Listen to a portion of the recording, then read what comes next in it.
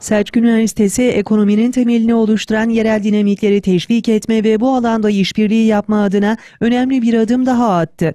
Beyşehir Ticaret ve Sanayi Odası ile tesis yüksek lisans ve eğitim işbirliği protokolü imzalandı.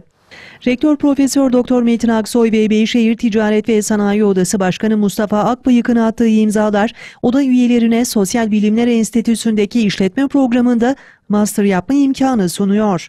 Üniversite sanayi işbirliğiyle bilimsel bilginin ürüne dönüşebileceğine ve ekonomik altyapının güçlendirileceğine dikkat çeken Rektör Aksoy, imzalanan protokolle hem Selçuk Üniversitesi'nin hem de Beyşehir'in kazanım elde edeceğini söyledi. Selçuk Üniversitesi Konya'nın e, lokomotifi durumunda olan üniversitesi e, hüviyetinde ve aynı zamanda da ilçelerin birçok ilçelerimizde birimleri olan bir üniversite.